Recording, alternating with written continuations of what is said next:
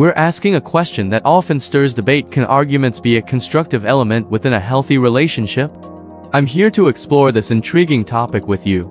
Navigating the complexity of healthy relationships. Healthy relationships are multifaceted, and they often involve various dynamics, including arguments. Today, we'll analyze whether arguments can serve as a constructive element within a truly healthy relationship. The role of arguments in healthy relationships. Defining healthy relationships. Before we dive into the discussion, let's clarify what we mean by healthy relationships. They are partnerships built on trust, respect, communication, and mutual support. In a healthy relationship, both partners strive for growth and emotional well-being. The argument dilemma.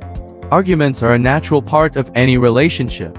They can arise from differences in perspectives, needs, or expectations. The dilemma is whether these arguments can ever be constructive or if they only lead to harm. Analyzing constructive arguments. Communication and understanding. In a healthy relationship, arguments can be constructive when they serve as a means of communication and understanding. They provide a platform for both partners to express their thoughts and feelings openly. Growth and resolution.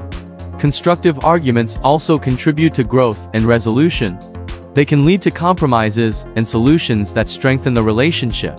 Sometimes, disagreements are opportunities for positive change. The fine line destructive vs.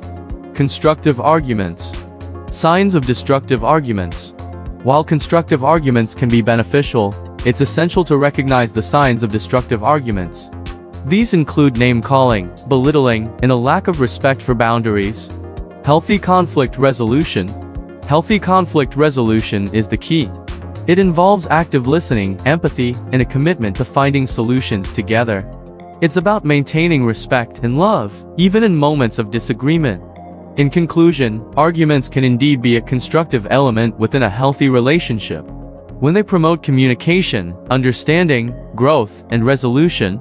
If you found this discussion valuable, remember to like, share, and subscribe. Let's continue to navigate the nuances of love and connection together. May your relationships be filled with understanding and growth. Until next time, trust the process and it's bye for now.